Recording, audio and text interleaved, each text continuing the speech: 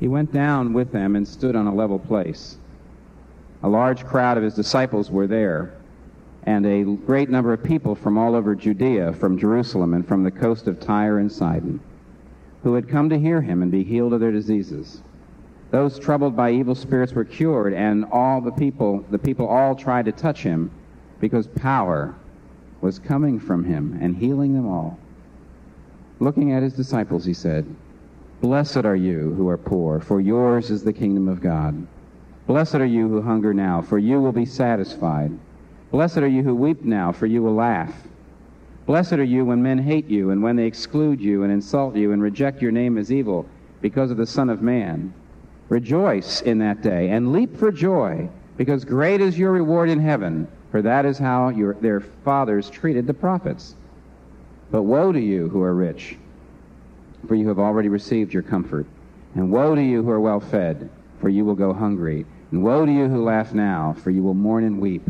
And woe to you when all men speak well of you, for that is how their fathers treated the false prophets. This is God's word. Now, as uh, Tim just said, it's spring, and uh, it's traditional, actually, for centuries in the church to, at, the at springtime, to turn our thoughts uh, to what it does it mean to live the Christian life. You see, you get to Easter, which is right around the corner, and when you get to Easter and you celebrate the resurrection, it's only natural to start to ask this question How can we live in newness of life? How do we live the resurrected life? Uh, what does it mean to live the Christian life?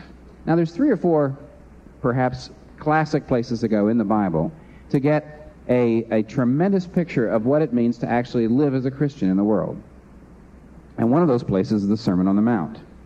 And we're going to be looking at the Sermon on the Mount from here all the way through to the beginning of summer, just for that reason.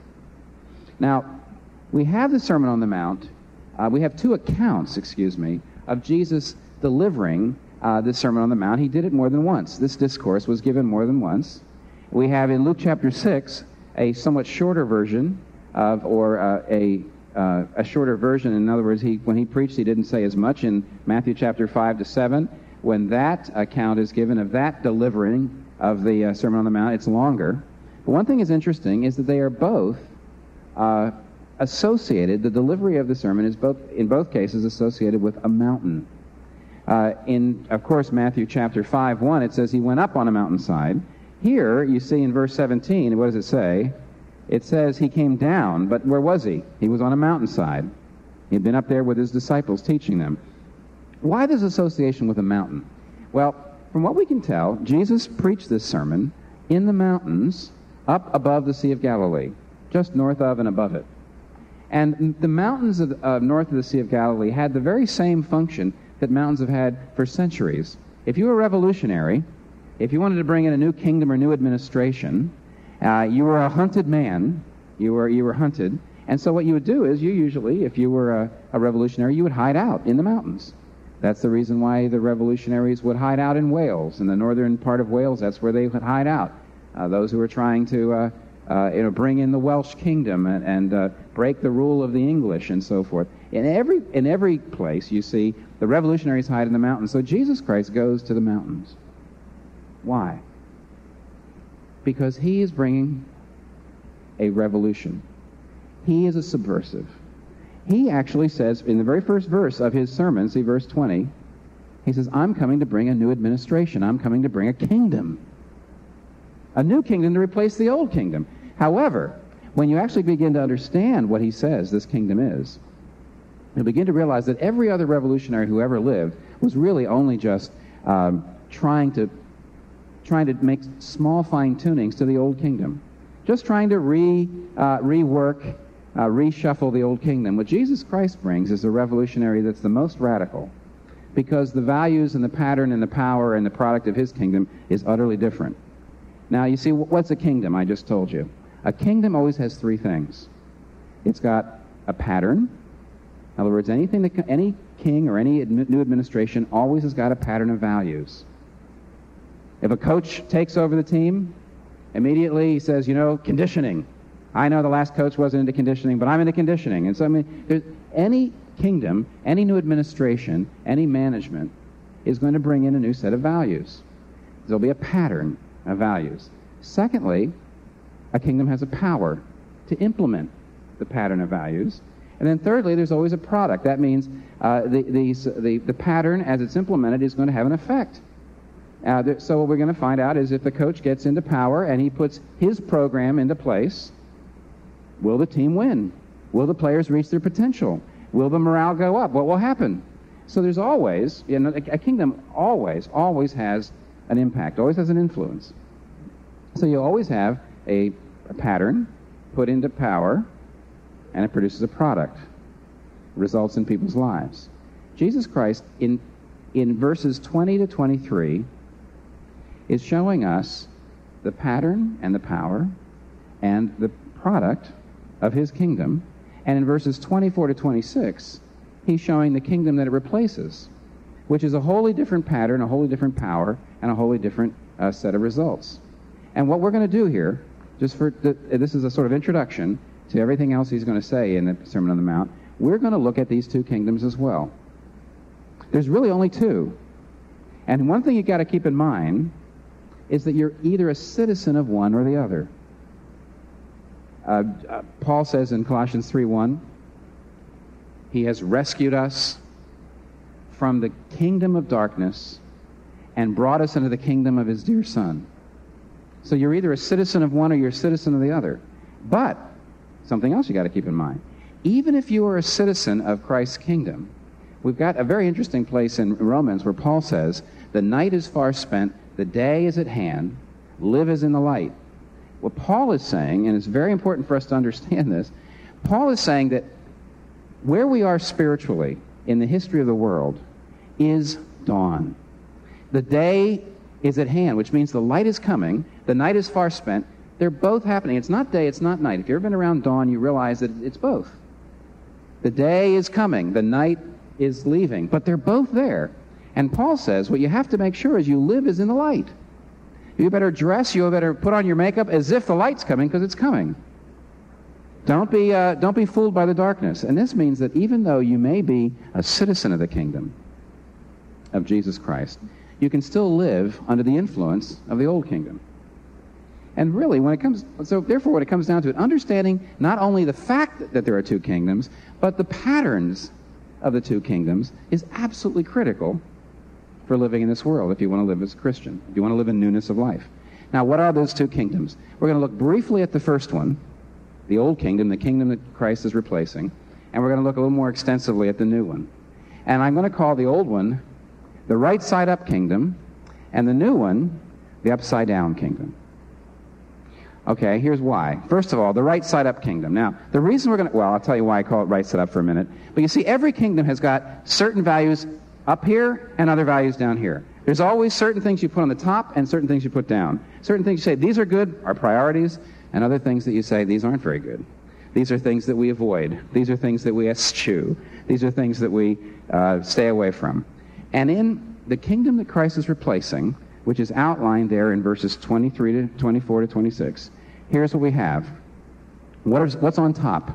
What are the values? Power, comfort, success, recognition. First of all, power. I know it says the first thing actually says the rich, but of course, riches and poverty is really a matter of power, as we know. Power. Secondly, you who are well fed. Well, it has to do with material comfort nice clothes, great restaurants, beautiful home. So you have comfort. Thirdly, you who laugh. Now, you know the word for laugh there, that is, uh, this is one of the values of this kingdom. The word for laugh there is a kind of negative word. And the, uh, the experts in Greek will tell you it really is a word that means more like, more, basically to gloat. It's the, um, it's when you've won the election, it's the, it's the party. I won. they lost. And so it's not just talking so much about fun. It's not just talking about happiness in general. It's talking about success. It's talking about the party you have after you got the promotion, the party you got after you've beaten the other candidate, and so on. And then lastly, all men speak well of you. Recognition, acclaim, popularity, celebrity. These are the values of the kingdom Christ is replacing. And of course, you see the opposite The things that this kingdom puts down, things to avoid, things to stay away from, things we disdain, things we sneer at, are in verses 20 to 23. And what, what are those things? Basically, weakness, okay? sacrifice, discomfort, grief. Or put it this way weakness, sacrifice, grief, exclusion. You're excluded. You're weeping. And so the things that in this particular kingdom says, go for power and comfort and success and recognition. And what, what are we going to do with weakness and, and, uh, and grieving and sacrifice and, and exclusion? We do everything we can to avoid those things. Now, the reason we call this the right side up kingdom, uh, not from God's point of view, but from our point of view, it's right side up because it seems utterly natural to put these things up here. Totally natural. And the reason is the power of this kingdom is the power of the now. Look carefully in verses 24 to 26, and you'll see it says that wealth and power and success and comfort, these are things now. You're laughing now. If you, if you basically go for success, if that's your goal, if you basically go for power, if you basically go for, for, for happiness and for, you know, to avoid suffering, if you basically go for recognition, for acclaim, these things pay off. Now, they, they give you results. And, you know, of course, if the now is real, if the now is really the only real, and, you know, for most of us, the now, I mean, the past is gone, and the future, who knows what will happen. The now, if the now is all there really is, if this world is all there is, absolutely. This set of, um, of value seems absolutely natural. Absolutely natural. It's biologically natural. I mean, have you heard of evolution? Mm-hmm. Have you heard of the survival of the weak? The survival of the rejected? The survival of the sacrificing? Forget it. Biologically, it's totally unnatural. It's natural to say power and so on. It's psychologically natural. Uh, I found this is an interesting quote by a British psychiatrist and uh, a very, very, you know, a fairly prominent psychiatrist. He says this The spirit that so permeates Christianity is, in my opinion, masochism. A much stronger expression of masochism is to be found, or the strongest expression of masochism is to be found in Christ's teaching in the Sermon on the Mount. This blesses the poor, the meek, the persecuted, to do good to them that hate you and forgive them their trespasses. All this breeds masochism. See, the right side up kingdom, I call it right side up because when you think about it, it just seems biologically, psychologically, utterly natural that these things would be up. Who would value weakness? Who would value sacrifice? Who would value grief? Who would value exclusion and rejection? Forget it. But what's the product? Now, Jesus says, when you live according to these values, driven by the power of the now because of results, he says it's temporary. You will only laugh now, but later you'll weep. It's temporary. You'll be filled now, but later you'll be empty. And what he's saying is actually common sense. Because, you see, in other words, if you say the now is all that matters, who knows about eternity? Who knows about other things? The now. If you build your life on the now, you get results in the now.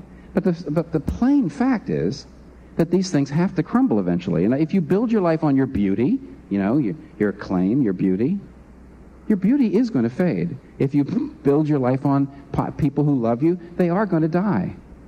If you build your life on achievement and power, you know, your records will be eclipsed.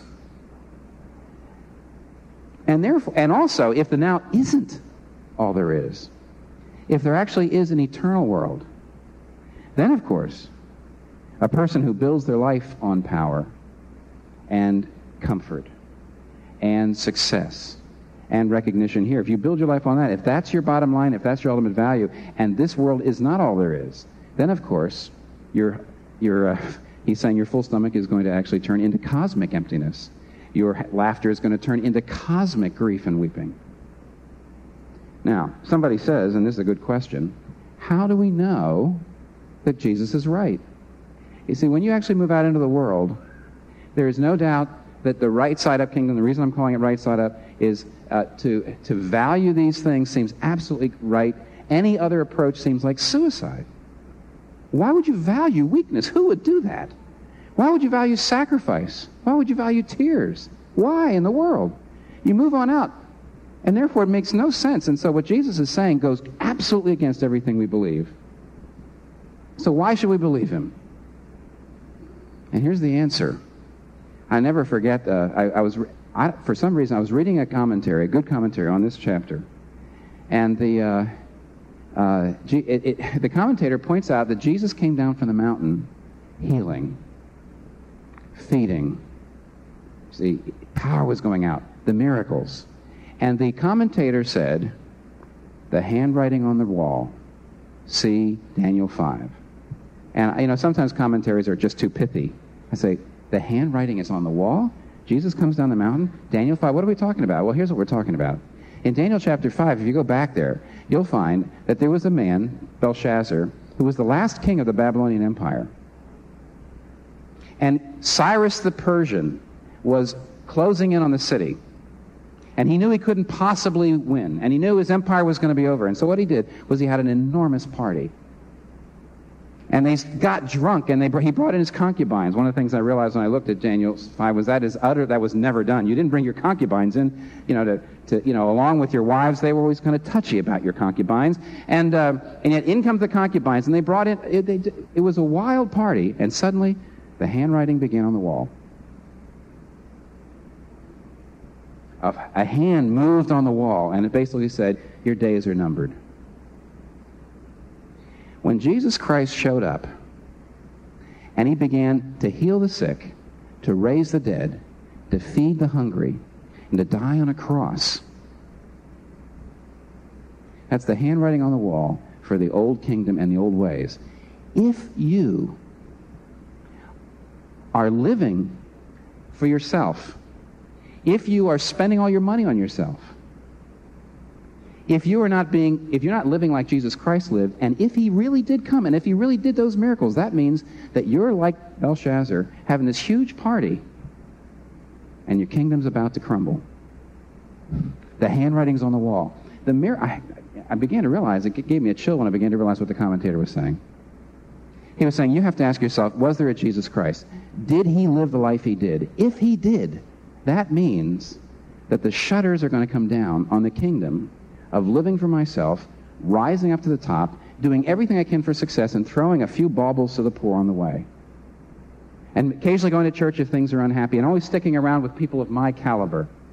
The whole right side up kingdom that seems absolutely to be the only way to go because Jesus Christ lived the life he lived, touching the lepers, giving himself to the poor, dying on the cross, coming as a poor man, coming and, and uh, riding into town on a borrowed donkey, and eating his last meal in a borrowed room, and, and being buried in a borrowed tomb, and giving up everything.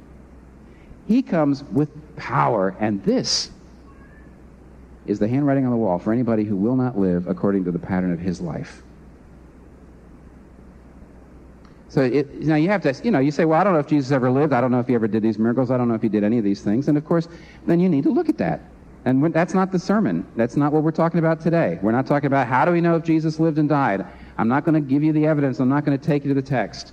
But if he did, if he lived a life anything like what the Bible is saying, your days are numbered, Belshazzar, unless you are living a, a life which is upside down from the way the world thinks things should go. Now let's take a look at the upside down kingdom.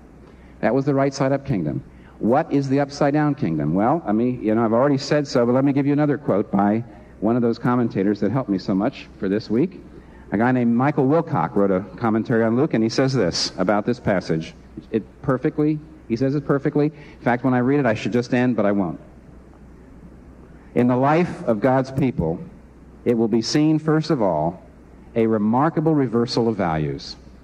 The people of God will prize what the world calls pitiable and suspect what the world thinks desirable. In other words, the mark of what makes you a Christian is a reversal of values. The things that the world puts as pitiable, we prize. He said, he, Michael Wilcock says, we prize. Wait a minute. We prize weakness, sacrifice, grief, and, and, and, exclusion? Are we the masochists that the psychiatrist said we are? And the answer is prize is not the same thing. Prize is not the same thing as seeking. In fact, if you seek it, I'll show you in a minute, you're just as controlled by the old world's values. But what we're saying is, prizing means that when it comes, we see its value. When it comes, we understand what it's doing in our lives. When it comes, we're not saying, oh my word, we, our life is over. No. If, if, if when these things happen to you, if when weakness comes, when all these things hit you, you say, oh my, good, my life is over, you're, like, you're under the influence of the old world. The old kingdom, the kingdom that's being replaced, the kingdom on which the uh, handwriting has been written. Uh, we prize it when it happens. We know its value, and we prize the people who are going through it. We're attracted to them. We get into their lives to try to ameliorate their lives. Now, let me break this down. Let's look at the pattern, the power, and the product of the upside down kingdom. Number one, the pattern. The pattern of the upside down kingdom is a reversal of values with regard to the world. In other words, Christians are no longer controlled by the things that, that the world thinks are so critical. We're not controlled by power, success. We're not controlled by comfort or recognition. We're not controlled by them. Now, let me point this out to you for a second. If you can't take them, if you run away from them, if you, if you can't stand being around money, if you have no idea what to do with recognition, if you, if you absolutely can't stand being around people with any power at all, if you run from them, you are still controlled by them. You're scared of them. It probably means deep down, deep inside, you're intimidated by them, or you, or you still really want them. But a person who's a Christian, who's living in the upside down kingdom, isn't controlled by these things. You don't need them, which means you don't want them. They don't drive you. They're not things that control you, and that means you can take them or you can leave them. And that is the first mark of somebody who's living in an upside down kingdom. That's the pattern of your life. Uh, for example, here's a non Christian, here's a Christian. Standing alongside of each other, but I shouldn't put it that way. Here's a member of the old kingdom, here's a member of the new kingdom. Because, you know, well, let's not talk about Christian, non Christian for a second. Let's not. Here's a person who's being controlled by the right side up kingdom and a person who's being controlled by the upside down kingdom. And let's say they're both in the same situation in their job. If they tell the truth, they're going to lose their job. Well, you see, a person who's under the influence of the old kingdom, of the, of the right side up kingdom, is going to have to lie. They're not, they're slaves. They're going to have to lie. Why? Because they can't do without that house in Greenwich. Because they can't do without, without power and without comfort. They can't do without success. They can't do without, they can't do. But a Christian says, hey, I have to do whatever I have to do because these things don't bother me anymore. Now, where does that come from? And the answer is there is a couple of wonderfully paradoxical um, there's a, there's a number of wonderfully paradoxical statements in the passage that tell you the secret dynamic here. First of all, notice how all the way through, Jesus says, Blessed are you who weep now. Blessed are you who hunger now. Okay, blessed are you who weep now. Look at the paradox. Do you know what that means? First of all, you're weeping. Now, you're weeping. Something's going wrong in your life. But you're blessed. And you know, the word blessed means deeply satisfied. Jesus says a Christian is somebody who can weep and still be blessed. A person who lives under the old kingdom, if something, you lose your job, you lose a loved one, you lose reputation, and you see blessedness and laughter go together. Blessedness and weeping can never go together. But in the new kingdom, they do. Because there's a blessedness that has not got to do with circumstances. Actually, a better place, the other, other place that shows the paradox is verse 23 when he says, Rejoice and leap for joy in that day, for great is your reward in heaven. Now, boy, Karl Marx used to look at verses like this and he used to say, Oh, that's what I hate. Ah, that's what I hate about Christianity. The opium of the people. See? Great is your reward in heaven. So I'm supposed to trudge through life and not fight injustice and just accept my lot in life because later on I'll have pie in the sky by in, by in the future. But there's no future here. There's no future tense. That's not what's going on, Karl Marx. I'm sorry you can't be here to hear this. What it says is, rejoice in that day. What day? Not the judgment day. In the day that you're excluded. Verse 23 is referring to verse 22. In the day you're excluded. Well, how can you rejoice in that day? Because great is your reward in heaven, not will be. This is what's going on. Colossians chapter 3, Acts chapter 7. I've never gotten over Acts chapter 7. Here's Stephen. He's about to be stoned to death. He's about to be executed. I've never gotten over this. How is he going to handle it with courage? And how is he going to handle it with love? How will he keep from fear? And how will he keep from anger toward the people who have, uh, are doing this great injustice? Well, he looks to heaven and he suddenly says, he says, I see the glory of God and I see Jesus Christ standing at the right hand of the Father. In other words, he says, I realize that though down here this kangaroo court is doing injustice to me, before God, I'm vindicated. And a Christian is somebody, according to Colossians 3, chapter 1, who says this uh, I have set my mind not on things below, but on things that are above, for my life is hid with God in Christ.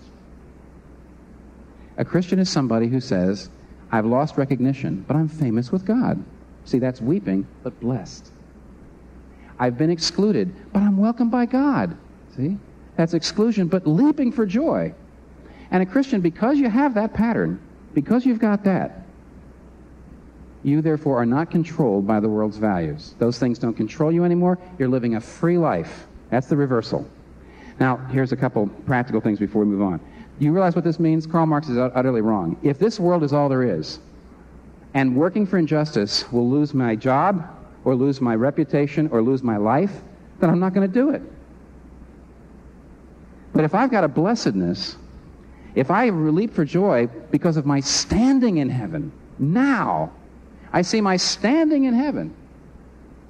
That means, of course, I can work against injustice because so what if I lose my reputation? So what if I lose my life? If I see injustice in my neighborhood, I stand up for it. So what if I'm ostracized? Okay. If I see injustice in the company, I blow the whistle. So what if I lose my job? You say, oh, now who lives like that? You've got the resources to live with that kind of integrity. You've got the resources to live with that kind of courage. Absolutely. This is, this is not the opium of the people. This is the smelling salts of the people. This will wake you up. You see?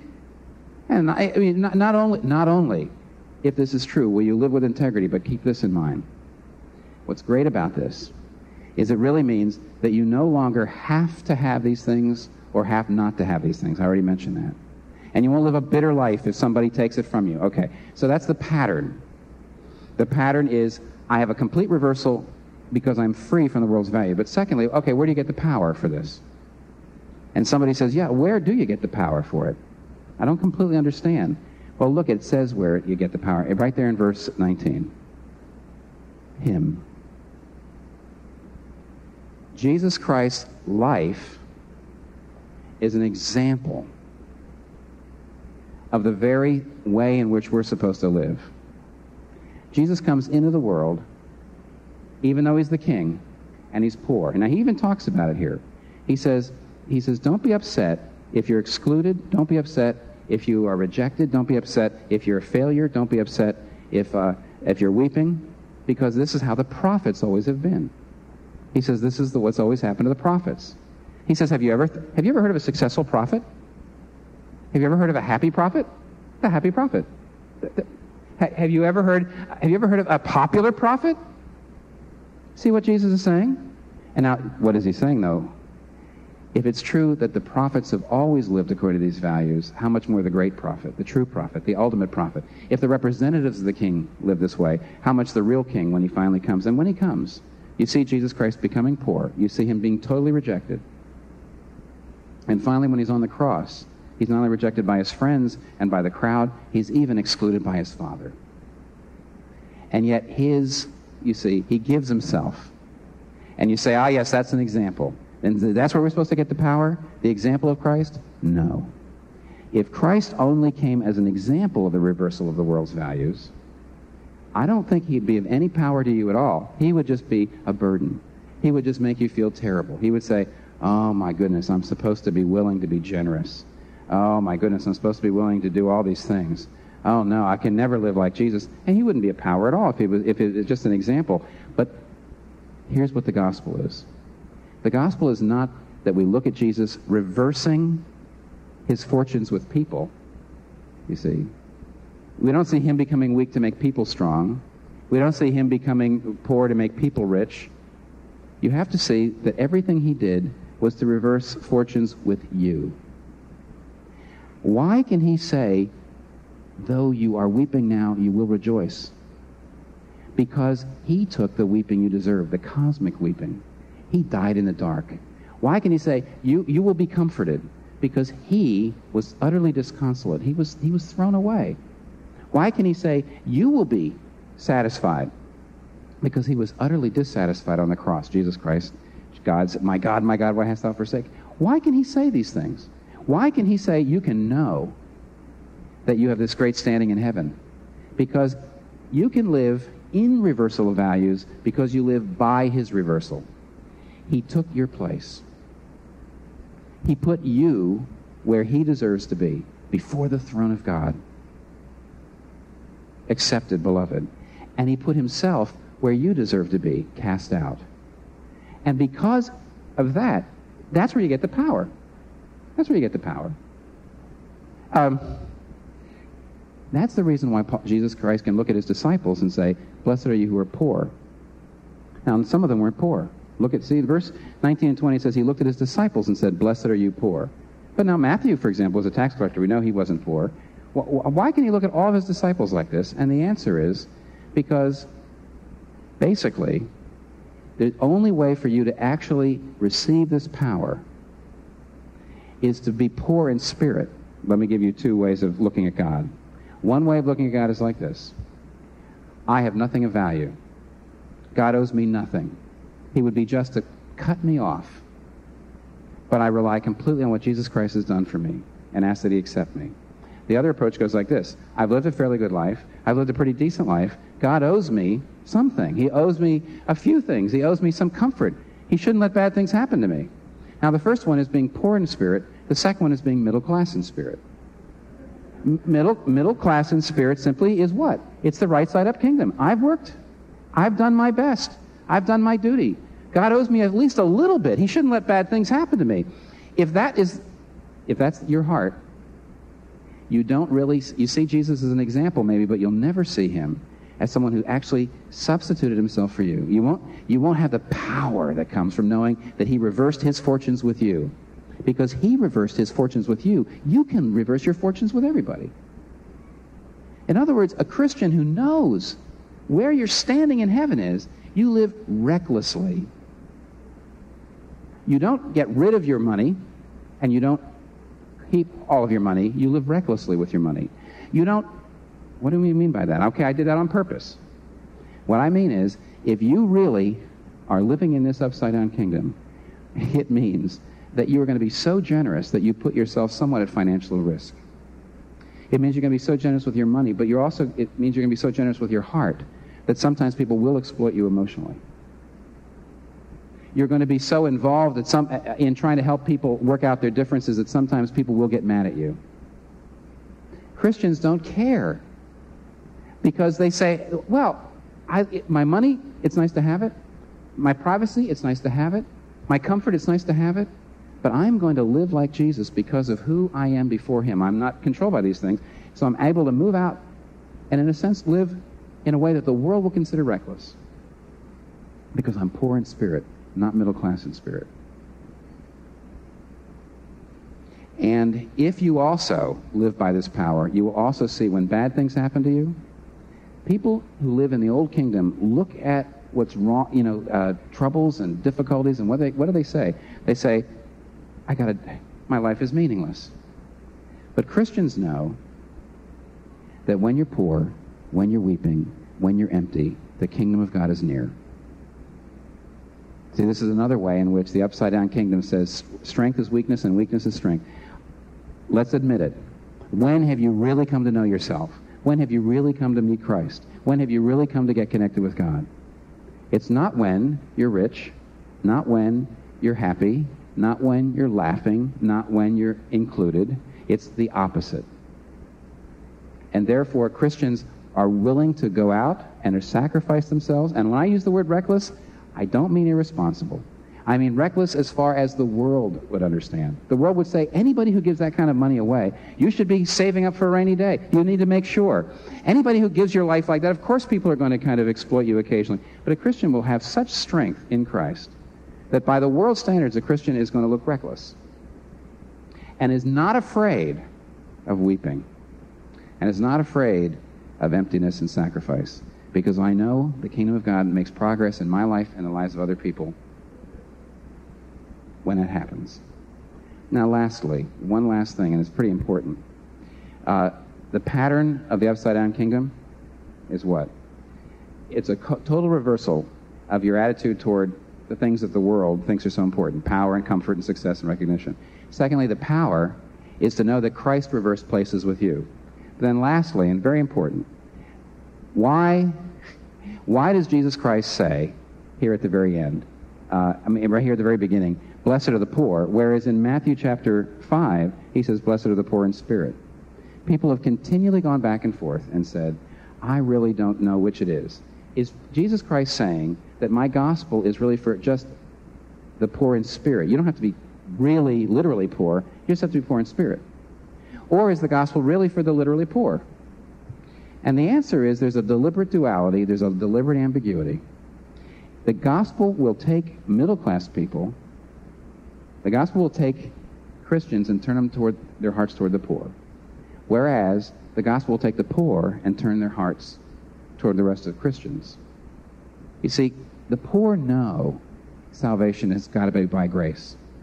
You never find the poor having a kind of very, very nice ethical religion. The poor, the poor tend to say, I believe in the blood of Jesus.